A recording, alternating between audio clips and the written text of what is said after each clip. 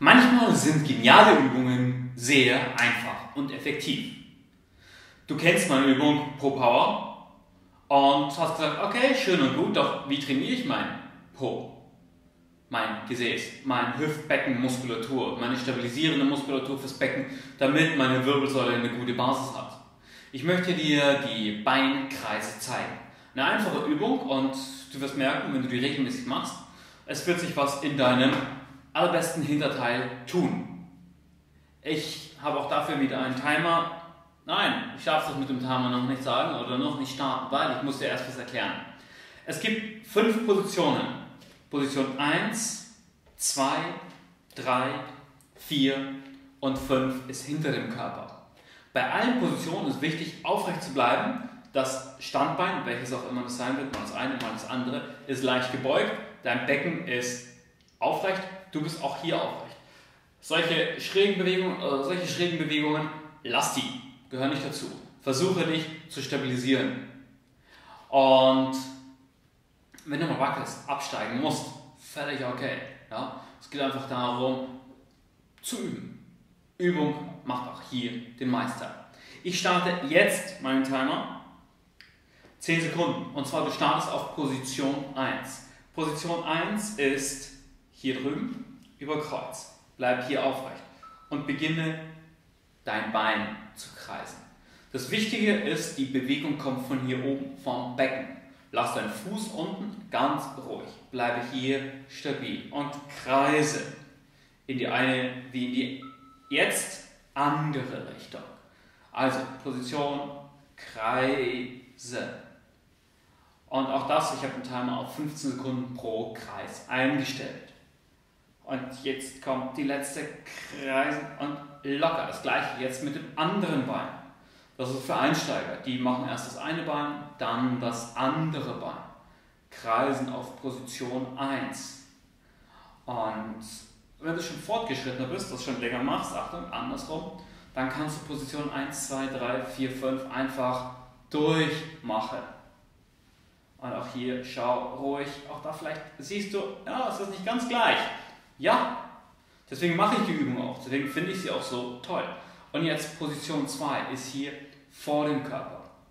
Vor dem Körper weiter kreisen. Groß bleiben, aufrecht. Auch hier Bauchspannung, ja, in Gedanken die Stange brechen und das Ganze von hier oben, von der Hüfte her kommen lassen. Kleine Kreise. Versucht die Kreise gleichmäßig zu machen. Das heißt, so symmetrisch wie möglich. Und die letzten Sekunden auch hier locker. Andere Seite, auch hier. Okay, kreisen erst in die eine Richtung. Spür das. Ja. Vielleicht spürst du starke Unterschiede von der einen zur anderen Seite. Völlig okay. Dann ist die Übung genau deine, deine Übung, die richtige Übung für dich. Weil je größer die Unterschiede sind, desto mehr musst du natürlich dran arbeiten. Und auch hier Position 2 geht zu Ende. Position 3 ah, ist hier außen. Also auch da drauf achten, gerade jetzt Stabilität aufbauen.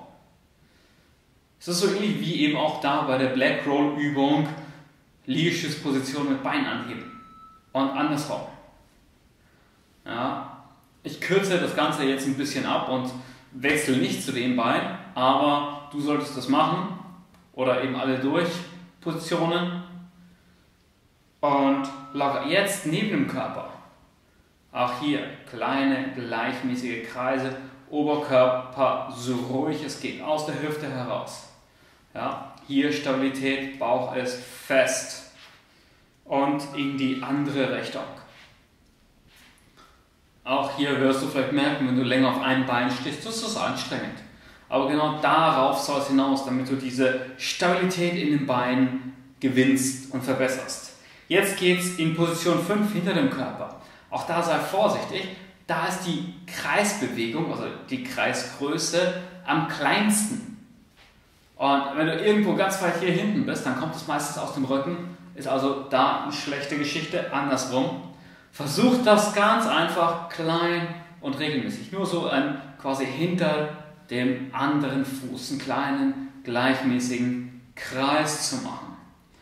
Und auch hier locker und stopp. Fünf einfache Übungen oder fünf Positionen, eben 1, 2, 3, 4, 5 für deine gesäßstabilisierende Muskulatur. Und natürlich auch in die andere Richtung. 1, 2, 3, 4, 5. Den Timer findest du wieder wie bei den anderen Videos unterhalb dieses Videos. Und ich möchte dich einladen, diese Übung auch auszuprobieren. Und mit der Frage, was würde passieren, wenn du diese Übung über drei, vier, fünf Wochen machst? Welche Referenz hast? Wenn du eine Referenz haben möchtest, miss mal eben deine, dein, dein Becken, dein Po, wie der Umfang ist. Und dann eben nach sechs Wochen nochmal, hat sich da was verändert?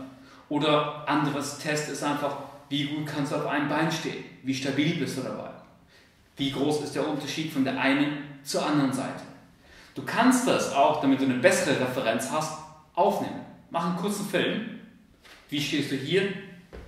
Wie stehst du hier? Und das Ganze nach drei, vier Wochen nochmal. Du wirst wirklich überrascht sein. Bleib aktiv, sei neugierig, denk an Pro Power. Bis dahin, dein Coach Andy.